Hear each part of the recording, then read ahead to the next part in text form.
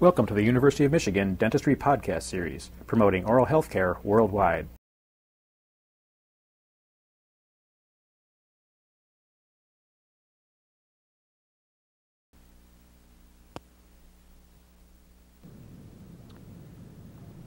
The case has been returned from the laboratory. We have had the posterior teeth cast, and we have our porcelain on these teeth in a biscuit bake.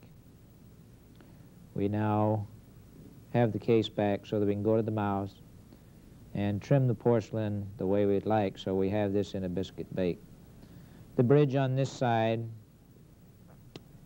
will have to be soldered to the cuspid here after we do the baking or the uh, glazing of the porcelain. If you are going to solder after the porcelain is baked, you have to wait till after we get the glaze on these before uh, we can do the soldering. The anterior teeth we contoured the last time, and they have been glazed, so now we can go in and check in the mouth our final aesthetics. If we wanted to do any staining or characterization of these anterior teeth, we would do it at this time. But the anterior teeth we contoured last time for the feminine characteristics, and now they have been glazed. This bridge, mandibular bridge, is a unit casting.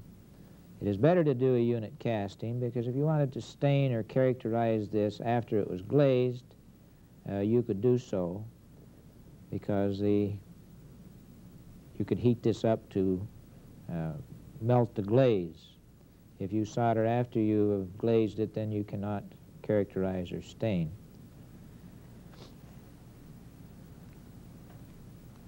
The porcelain, uh, placing the porcelain on the teeth, we've modified a little bit. This is a young girl, rather nice looking, and we've tried to camouflage the show of gold. So as you see here, there was no occlusal contact in the mesial pit area of the bicuspids, so we had the laboratory technician extend the porcelain into the mesial pit area. So that as we look from an anterior view, the porcelain hides the gold in this area, and yet we have the gold for our occlusal contact, so that the, there isn't so much gold showing on those bicuspids. We have changed the porcelain in the uh, maxillary crowns uh, to camouflage the gold a little bit too. As you see here, we have extended the gold, the porcelain, over the occlusal surface so that we have porcelain cusps contacting. Now we can do this if you do not have any occlusal contact going over this margin. We have waxed the case so that it will function and clear out without contacting these porcelain areas. If you're going to have a cusp go over the porcelain gold margin, then you're going to fracture a facing. But with the proper design of the occlusion, you can carry this porcelain, as you can see, onto these cusp areas so that it will hide the show of gold.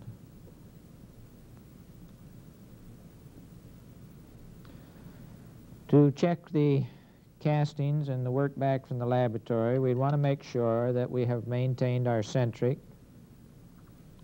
Check to make sure that the pin is down on the incisal table and the condyles are down on the condyle balls.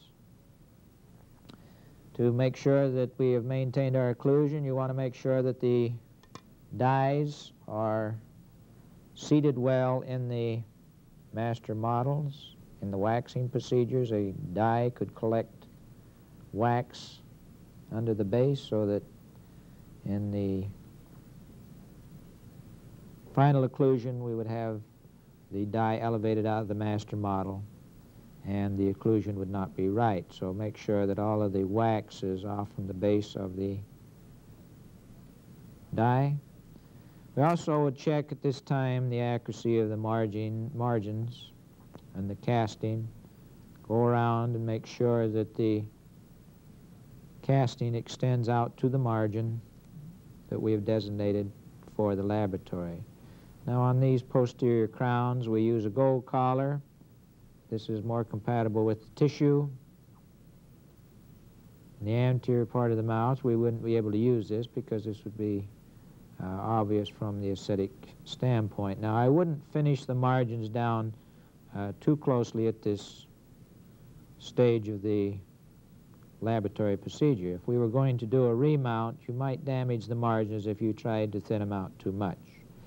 So we check the dies, the individual fit of the casting onto the die. Make sure that there are no irregularities inside the casting.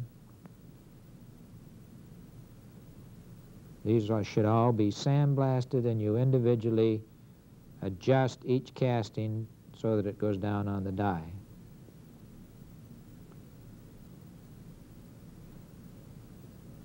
Once you're assured that all of the castings are seated properly on the dies and all the dies are in their correct position in the master model, then we can verify the occlusion.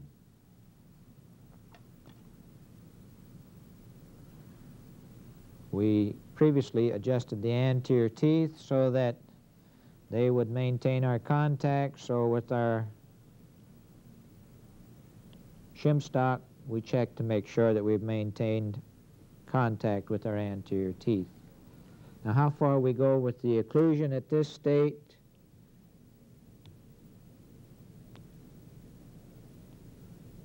depends on what your plans are going to be.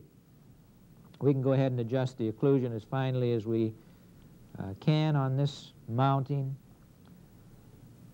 because we have done a transfer of our dies and we can go back to the mouth with a fairly well adjusted occlusion provided the temporaries have maintained the case. However, if the case has been in the laboratory a long time, this one has been going on six months in the laboratory procedures, we could have some change of the teeth, so we are going to plan almost routine in this case to do a remount of the castings.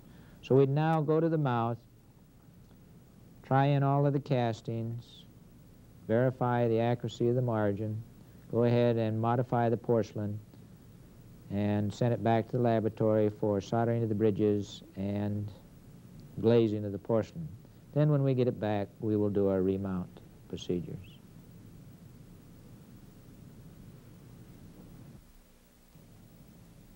We now place the restorations in the mouth and the first thing that we would like to verify is the accuracies of the margins.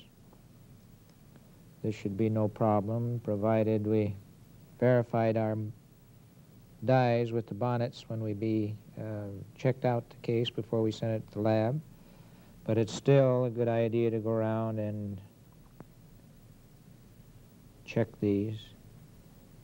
Then what we would like to do now is to contour the restorations and the crowns and the porcelain to give a good gingival environment here. You can see here we've got quite a bit of, of a bulge in this area. This one's not too bad.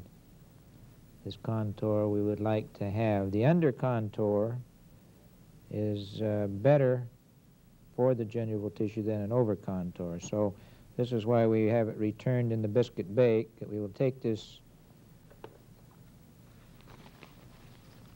crown now and start working down the porcelain.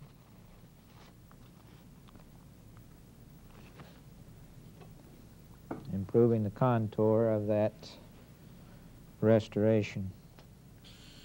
Can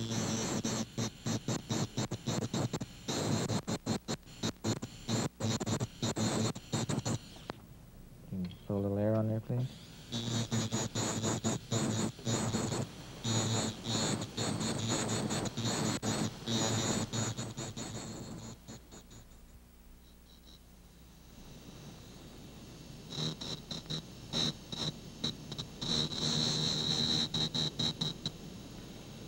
In trimming the crown or contouring the crown, we want to make sure that we wind up with a concavity here on the proximal areas. Remember that we have a gingival papilla that needs to uh, live in that area, so we would like to develop a concavity for that papilla in the area. Also, we would like to cut down any over contour in this mouth particularly. She has a very sensitive gingival tissue that responds to the slightest bit of plaque, so we would want to eliminate any undercuts and have as self-cleansing an area as we can. In checking the restoration, you want to make sure that it goes down all the way. Make sure that it fits the tooth the same way as it fits the die. If your temporaries haven't been keeping the tissue out of the road, then you may have to retract the tissue. You want to check your contacts to make sure that the uh, contacts are not holding the restoration up, but you can see what we're trying to do with this contour here now is to make a nice even contour for that restoration. So we'd go back and each one of the crowns fit it to the area, opening up the proximal area so that we can have a good area for the gingival tissue. On the maxillary, you can see here that these are quite a bit over contoured. Uh, this bridge has not been soldered yet, so we want to contour this for the shape. We want to adjust the tissue contact portion of this so that it touches the tissue lightly and recontour all of this porcelain for um, before the bridge is soldered. So we'll go ahead now and reshape these porcelain areas on the Pontics. You've been listening to a presentation from the University of Michigan School of Dentistry, which is dedicated to supporting open learning and open educational resources. This recording is licensed under the Creative Commons. It may be reused and redistributed for nonprofit use. Please attribute materials to the University of Michigan School of Dentistry and redistribute under this same license. For more information on how this and other University of Michigan School of Dentistry recordings may be used, visit www.dent.umich.edu/license.